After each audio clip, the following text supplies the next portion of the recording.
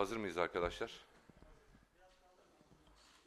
Tabii ki benim açımdan tekrar buraya gelmek büyük bir mutluluk. Ee, Her zamanki, her zaman da söylediğimiz gibi ben Beşiktaşlıyım. Bütün futbol hayatım orada başladı, orada bitti.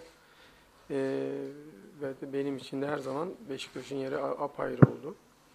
Şimdi tabii ki e, gel, şu andaki geldiğim şey, başlamam, aynı benim ilk başladığım zamana benziyor.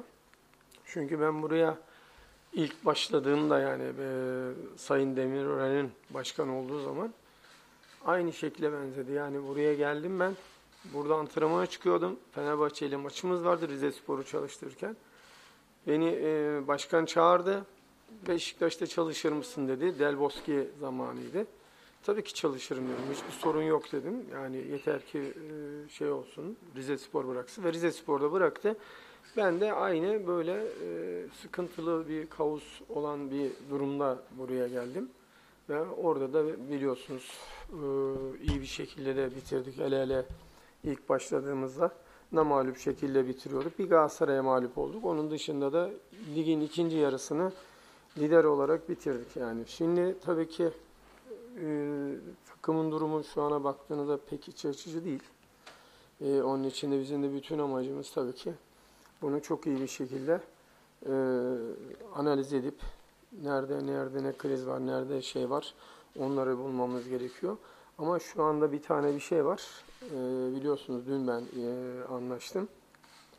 Bugün hafif bir antrenmana çıkacağız ve ondan sonra da maça çıkacağız. Bu tabii ki büyük bir dezavantaj benim için. Ama arkadaşlarla, oyuncularımızla da konuştuk. E, bunu ne olursa olsun bunu halledecek olan bizleriz dedik. İnşallah sahaya ba- bambaşka bir şekilde çıkacaklar. Ondan sonra da bu krize e, iyi bir şekilde ben atlatacağımıza inanıyorum. Ben size özet anlattım böyle. Çünkü sizlerden mutlaka sorular gelecek. Onları e, konuşurken de zaten e, ne duymak istediğiniz veyahut da bir öğrenmek istediğiniz ne varsa hepsini de rahatlıkla söyleyebiliriz. Ben bir yapım, ben her zaman basını açığım. Her türlü açığım, hiçbir sorun yok arkadaşlar. Tabii ki e, kulübün de ona göre bir tasarrufu olursa basınla ilgili o ayrı mesele ama benim hiçbir arkadaşıma böyle yani bir şey sorup da cevap vermemek gibi bir şey olmaz. Ne varsa her şeyi de rahatlıkla söyleyebilirim yani. Ama şu bir gerçek ne olursa olsun e, buraya gelmekten dolayı mutluyum. Çağırdılar geldim. Durumumuz iyi değil dediler. Tamam dedim. Yapabilir miyiz hocam dediler. Yaparım dedim. Yani o şeyde de e, buradan görevi kesinlikle yani öyle düşünerek değil isteyerek kabul ettim yani. Ne olursa olsun. Yani şimdi her şeyden önce sizin merak ettiğiniz şeylerden bir tanesi zaman. Ne kadar, nasıl, nereye kadar gibi şeyler olacak. Nereye kadar giderse. Yani onu kesin öyle. Yani bizim için tabii ki zor bir başlangıç. Biraz önce de özetle gösterdim. Sizin de dediğiniz gibi hakikaten sıkıntılı bir durum. Ee, ve taşın altına da elimizi koyacağız. Ee, başkan da başkana da söyledim, kendisine söyledim. Bana buraya çağırdıktan sonra, bana bir görev verildikten sonra benim yok demem mümkün değil.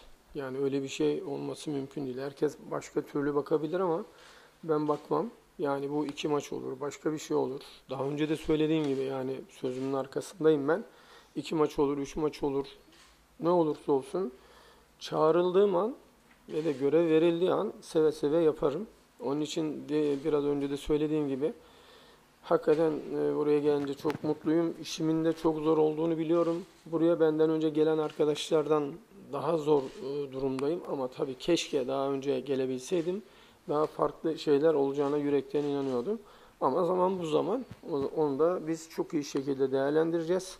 Ve çok iyi şekilde de biz bu işi atlatacağıma inanıyorum ben. Takım, ekip olarak. Buradaki bizim en önemli şeyimiz e, taraftar. Şu anda e, taraftarı düşündüğünüz zaman e, ben hemen hemen her maçına gittim maçlara. Üzgün, kırgın, sinirli yani her şey. E, çünkü e, istediği sonuçlar elde edilemiyor, istediği futbol olmuyor. Onun için de tabii ki çok üzgünler. Bence öncelikle bizim taraftarı kazanmamız gerekiyor. Yani en önemli şeylerden bir tanesi taraftarımızı kazanmamız gerekiyor. Çünkü bana göre ben her zaman da söylediğim şey nerede çalışırsam çalışayım. Yani taraftar 12. adam derler. Bana göre taraftar birinci adam. Yani onlar olmazsa, onların desteği olmazsa biz buradan bu kaostan çıkmamız e, mümkün değil. Ama onların desteği, çok iyi destekleri olursa yani yuhlamadan ziyade büyük bir destek verirlerse onlarla beraber biz bu işi çok iyi şekilde e, başarabiliriz. Ama tabii ki ters bir şey olursa e, o zaman tabii ki sıkıntı yaşarız ama ben taraftara inanıyorum. E, çok iyi bize destek vereceklerine inanıyorum. Çünkü ben e, futbolculuk hayatımda da çok başarılar gördüğümüzde bizim en büyük desteğimiz taraftardı. Onun için de bizim için en önemli şey taraftar yani.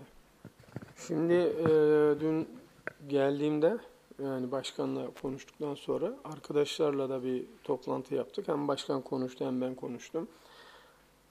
Bu oyuncuların, bu takımın oynadığı oyun bu değil. Oyuncuların da kapasiteleri bu değil. Ya mutlaka bir sıkıntılar var ama şimdi onu aşmak için de tabii ki bir zaman gerekiyor. Ama maalesef zaman yok. Ben geldim. Bugün hafif bir ter idmanı yapacağız. Yarın maç yapacağız.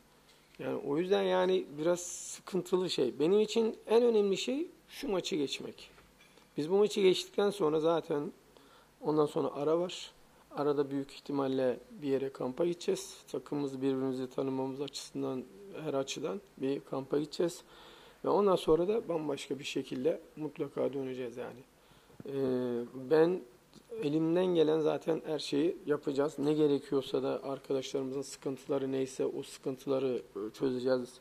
Bazılarının sıkıntılarını biliyoruz. Ee, bazı bazısınınki transferden oluyor, bazısı başka şeyden oluyor.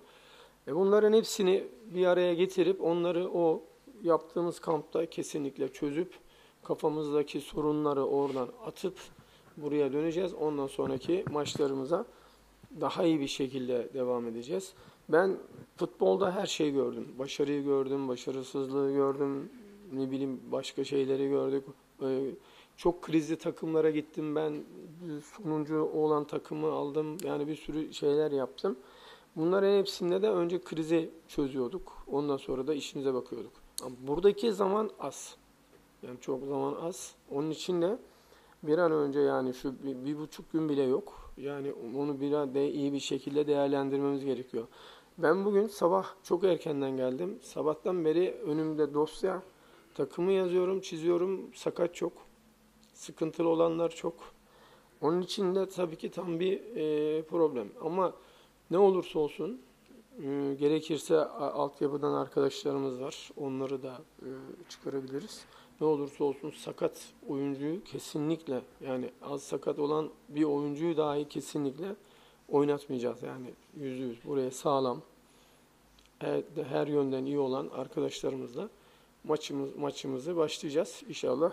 iyi bir şekilde bitirdikten sonra da önümüz bence açılacak yani çok iyi şekilde açılacak ama en kritik maç Başakşehir maçı yani.